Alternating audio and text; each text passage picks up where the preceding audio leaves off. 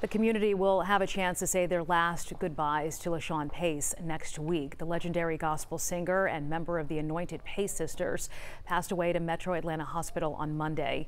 She had been on dialysis for five years waiting for a kidney transplant. Her family says she died from organ failure.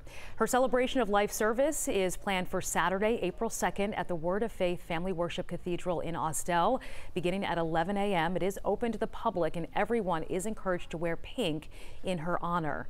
And you can watch my exclusive interview with LaShun's daughter, Arian, as she shares her memories of her mother. That's on our website, 11alive.com.